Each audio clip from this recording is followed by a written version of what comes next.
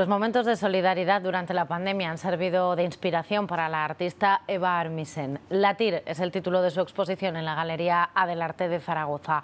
Una recopilación de los últimos tres años con la que nos invita a sentir y a vivir.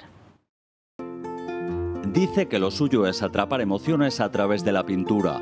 Eva Armisen pone arte y corazón en esta muestra que recoge su trabajo de los últimos tres años. Es una, invitación a, escucharnos, a mirar dentro y, a sentir la vida como, como, algo excepcional. Una parte de la TIR, el nombre de esta colección, ha nacido durante la pandemia.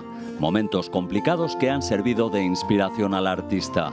Desde la gente que está ayudando, cuando los extraños a lo mejor son los que tienes más cerca. Eh, también es un momento de, reflexión, ¿no? cuando la muerte la sentimos tan presente cada día, hace que la vida te dé opciones, ¿no? Y es un poco una reflexión a, escuchar nuestro propio latido. Reflexión también sobre la importancia de la cultura en una situación como la que estamos viviendo. Para darnos no solo esperanza, sino otra manera de reflexionar y de salir de, una, de, un, de un mundo tan, tan oscuro. Para ponerle color a esa oscuridad.